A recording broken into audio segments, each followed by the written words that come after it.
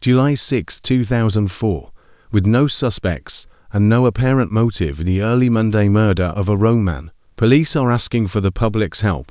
Thad John Glenn Reynolds, 36, of 69W Kenora Drive, was stabbed several times at a Frito-Lay distribution center, 2605 Calhoun Road, around 4 a.m., said Floyd County Police SKT, Dallas Battle. Reynolds was Frito-Lay's district manager for the Rome Cartersville area. Battle said robbery remains a remote possibility for the murder. Although nothing was apparently missing from the scene or the victim, it could have been a robbery.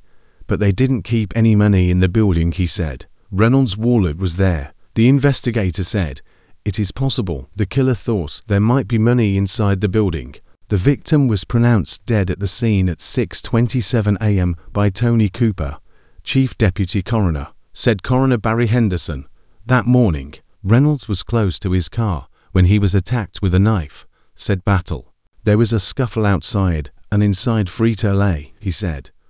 The weapon was not recovered but it is believed to be a knife. The body was discovered around 6 a.m. when an unidentified Frito-Lay employee at the distribution center he went in saw the victim on the floor and called 911. Battle said a sheath to a hunting knife was found near the car and a red minivan was seen leaving the area.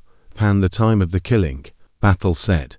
We're looking for a red minivan, he said. It's the only lead we've got at this time. GBI, and Floyd County investigators reported finding blood inside and outside the main entrance and near Reynolds' car, which was parked close to the building, said Battle.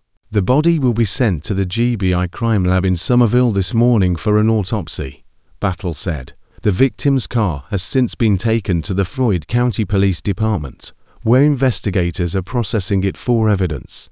If they lift any prints, we'll start there, Battle said. The center was used to load and unload Frito-Lay delivery trucks, said Battle.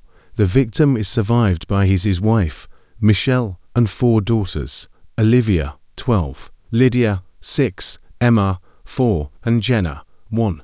He liked to get to work early, while his family was still asleep, so he could be with them at home in the afternoons, said Bill Fortenberry, who had been friends with Reynolds for the past eight years. Reynolds was described as a devoted, family man, said Mark Huckabee, an associate pastor at Hollywood Baptist Church, where Reynolds served as a deacon and marriage counselor.